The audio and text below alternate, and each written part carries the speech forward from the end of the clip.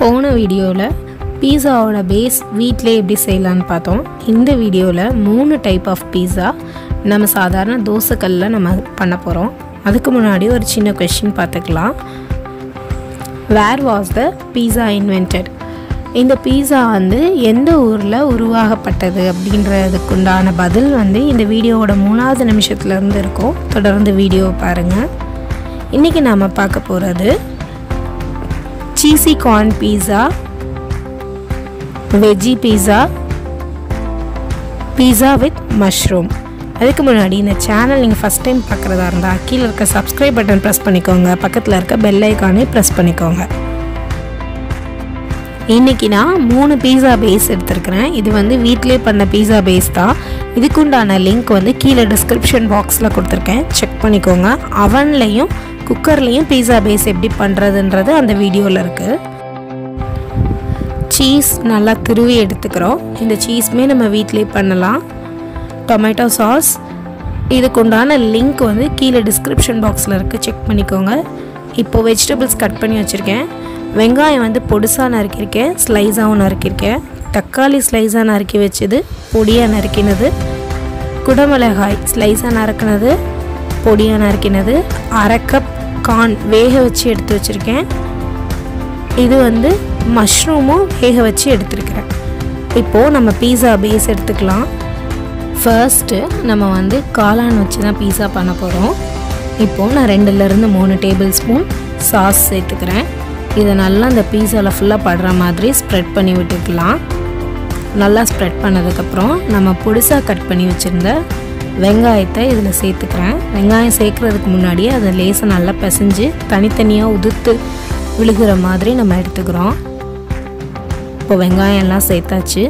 பொடிசாக கட் பண்ண தக்காளி இப்போ சேர்க்குறோம்.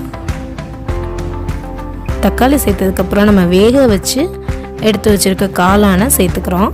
காளான் தேவைக்கு நம்ம நிறைய வேணும்னாலும் சேர்த்துக்கலாம். இப்போது சீஸ் அது மேலே போட்டுக்கலாம். இன்றைக்கி நான் ரொம்ப பேசிக்கான ஐட்டம்ஸ் மட்டும்தான் சேர்த்துருக்கேன். சில்லி ஃப்ளேக்ஸ் ஆரிகேனாலாம் நம்ம வேணும்னா சேர்த்துக்கலாம். இது லாக்டவுன் டைம்ன்றதுனால அது கொஞ்சம் கிடைக்காததுனால சேர்க்கலை.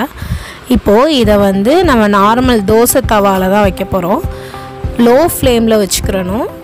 இப்போ தோசை தவாவில் வச்சுட்டு ஒரு மூடி போட்டு இதை நம்ம மூடி வச்சிடலாம். த்ரீ டு ஃபோர் மினிட்ஸ் இருக்கட்டும். இப்போ நெக்ஸ்ட் பேஸை வந்து சீஸி கார்ன் பீஸாக்கு ரெடி பண்ணலாம். ஃபஸ்ட்டு சாஸ் போட்டாச்சு. நீளமான இருக்கிற வெங்காயம் சேர்த்துருக்கு. தக்காளி கொடமிளகா அப்புறம் கார்ன் நான் ஹாஃப் கப் கார்ன் சேர்த்துருக்கேன். சீஸ் வந்து இதில் நல்லா நிறைய சீஸ் நான் சேர்க்குறேன். நம்ம சீஸ் தேவையான அளவுக்கு சேர்த்துக்கலாம். இப்போது நம்ம வச்சுருந்த மஷ்ரூம் வந்து மஷ்ரூம் பீஸா ரெடி ஆகிடுச்சு இதை நம்ம தவாலேருந்து எடுத்துகிட்டு சீஸி கார்ன் பீஸாவை நம்ம அதே மாதிரி வச்சு மூடி வச்சிடலாம் நம்ம வீட்டிலையே ரொம்ப ஈஸியாக இந்த மாதிரி பீஸா செய்யலாம். அவன் வேணுன்ற அவசியம் இல்லை. பேஸ் செய்கிறதுக்குமே நம்ம குக்கர்லேயே செஞ்சிடலாம் இப்போ நம்ம எடுத்து வச்சுருக்க பீஸா வித் மஷ்ரூமை வந்து நம்ம சின்ன சின்னதாக கட் பண்ணிக்கலாம். நம்ம வந்து நாலு பீஸாவோ இல்லை ஆறு பீஸ் அந்த மாதிரி என்ன தேவையோ அதுக்கேற்ற மாதிரி கட் பண்ணியிருக்கலாம் நம்ம மஷ்ரூம் பீஸா ரெடி இப்போ வந்து சீஸி கார்ன் பீஸாவும் ரெடி ஆயிடுச்சு. இதில் நம்ம வேணும்னா சில்லி ஃப்ளேக்ஸ் ஆரிகேனோ அந்த மாதிரி சேர்த்துக்கலாம். இப்போ இதையுமே நான் நாலு பீஸா கட் பண்ணியிருக்கேன்.